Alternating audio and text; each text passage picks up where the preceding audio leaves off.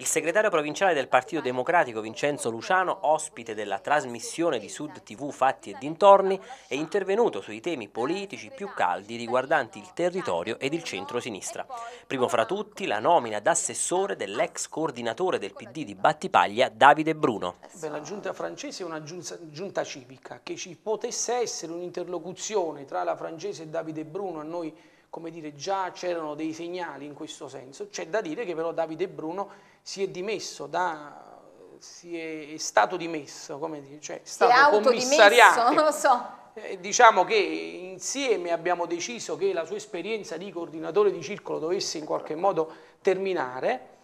e quindi uh, è stato individuato un commissario perché che aveva lavorato Lucas male Groia, o perché c'erano altre motivazioni? Ma non aveva più il riconoscimento da parte dei suoi iscritti e dei, dei tesserati, che questo per, il, per, un, per un coordinatore di circolo, come dire, è il de profundis.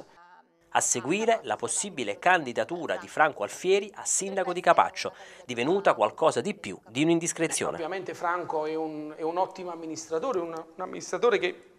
quando è stato sindaco ha dimostrato di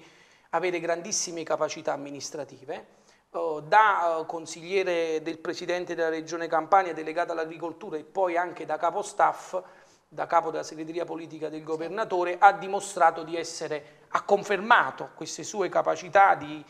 quindi avere grandi capacità di sintesi, di confronto con gli amministratori, con uh, i cittadini e quant'altro. Uh, forse anzi,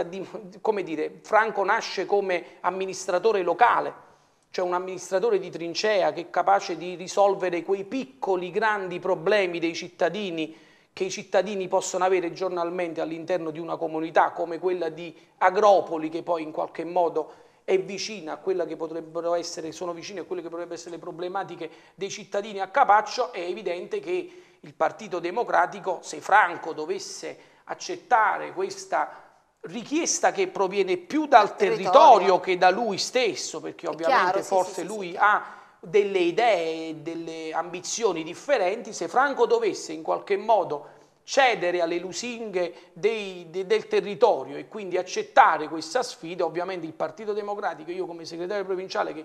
come dire sono oh, il responsabile di quello che succede, è evidente che per noi sarebbe una grande conquista.